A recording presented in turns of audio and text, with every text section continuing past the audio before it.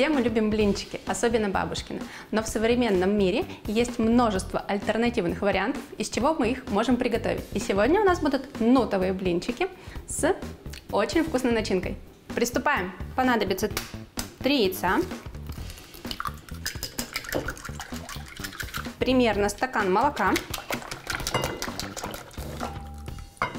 Мне больше нравится сделать сначала основу, а потом ее уже довести до нужной консистенции молоком или водой. Также мы берем нутовую муку.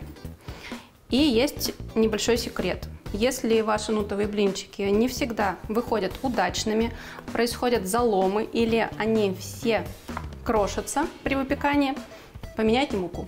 Я имею в виду производителя. Тут надо немного поэкспериментировать. Постепенность введения ингредиентов дает нам возможность добиться э, консистенции теста, текстуры без комочков. Ее удобно замешивать, а также мы видим, чего еще сколько необходимо добавить и потом не переборщить. Не забудем про соль.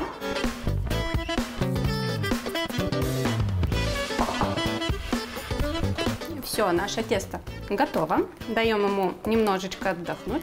А тем временем разогреем сковороду до нужной температуры. Тесту достаточно минут 5 постоять, а теперь мы можем приступить к жарке.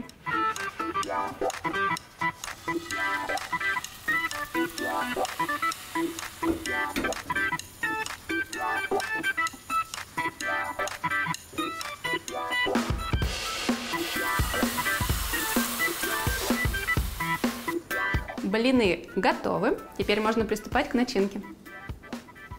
Для этого нам необходимо взять томаты крупные и нарезать их на мелкий кубик.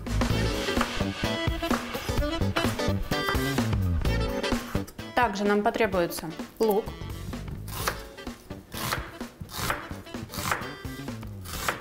Лук слегка обжарился.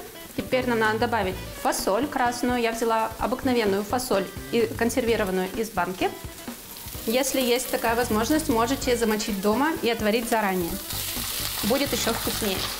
Мы будем готовить зеленое масло. Для этого мы возьмем зелень петрушки со стеблями. Загружаем в чашу блендера. Пару долек зубчиков чеснока. Сок лимона, немного соли,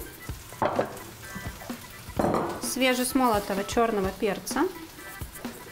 И у нас будет здесь оливковое масло и обыкновенное подсолнечное.